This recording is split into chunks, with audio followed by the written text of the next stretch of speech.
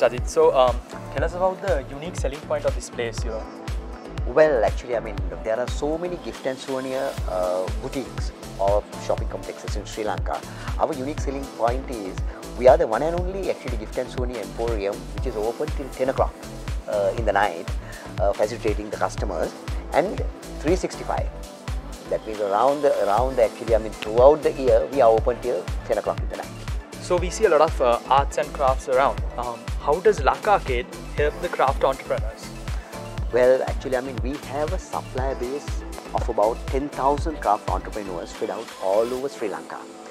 Uh, and we are very proud to say we have become the ears and eyes of the uh, underprivileged craft entrepreneurs, showcasing their products and giving them the due, the products, the due respect, and actually, I mean, taking out to the entire world. Uh, you must have actually seen there how, how, how well we have displayed it and what type of respect we have uh, actually towards those products. So we are showcasing their products and we want to give them the best possible price for their products and actually I mean help them uh, as a, some sort of a backward integration. So since we spoke about how Lakarcade help craft entrepreneurs, they would like, like they might like to know how they could supply their products to you guys and get a good rate in that. So yeah, right. can you yeah. Sure. Actually, I mean, first of all, actually, I mean, uh, we request them to register themselves with us. Uh, there's a proper, actually, I mean, method of registration, and they can bring us the samples. Then we will go through the samples. We have a panel of experts uh, on each uh, product category. They go through the samples, and based on quality, price, their availability, their actually, I mean, uh, uh, capacity to supply throughout, and we will actually, I mean, place an order with them and we will do a test market. Actually I mean some sort of a test marketing campaign uh, with the products. After that we will place the orders and we'll have a, a continuous uh, actually I mean supply chain relationship with them. So uh, since you spoke about quality what are the quality standards that you implement in Arcade because like we see there are a lot of quality products like nothing differs right? So how do you maintain this? Well yeah we are we are very very actually I mean uh, proud and very how to say uh, concerned about our reputation as a supplier of quality gift and souvenir novelty gift and souvenir products to the market.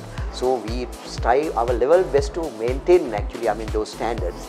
And actually when we procure it's a lengthy process. When we procure I mean it goes through a panel of actually experts who specialize in those actually I mean different different fields uh, and they go through the products and then only if they are satisfied on the standards only uh, we will actually I mean uh, procure them. Uh, the classic example is the gem and jewelry sections where you are standing. Uh, all gems actually since it's a very high value product we are very concerned about the quality. All the gems uh, offered for sale here are certified by the National Gem and Jewelry Authority.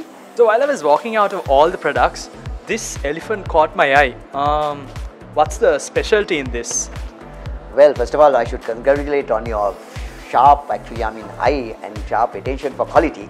This is the unique item actually we very proudly, I mean, offer to the customers.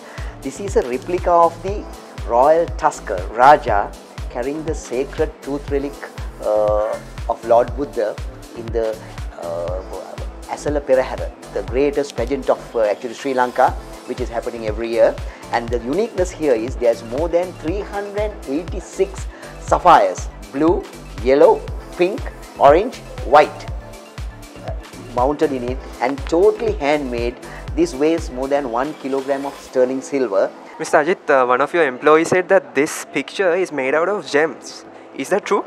It is true. Oh. In fact, actually, I mean, this is one of our latest products. This is made out of uh, precious as well as semi-precious gemstones. Actually, I mean, small pieces. Mm -hmm. Actually, I mean, uh, they have been actually glued into this mm -hmm. and created this picture.